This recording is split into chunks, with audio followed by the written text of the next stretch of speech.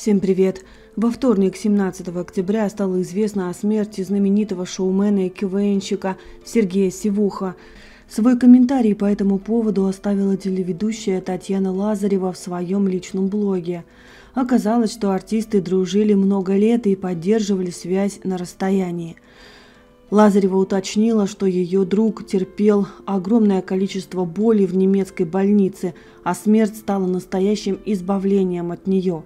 «Умер мой любимый, мой хороший друг, скажу честно, отмучился, но всегда у него были силы на любовь и на поддержку, а уж сколько мы ржали в молодости, а в последнее время все уже больше горестно подхихикивали, полжизни дружили», – написала актриса. То, что знаменитый шоумен умер в тяжелых мучениях, стало шоком для его поклонников. Сивуха скончался, когда ему было 54, артист ушел из жизни в Германии, а причиной смерти стала хроническая болезнь легких. С нею он боролся несколько лет, но не смог победить.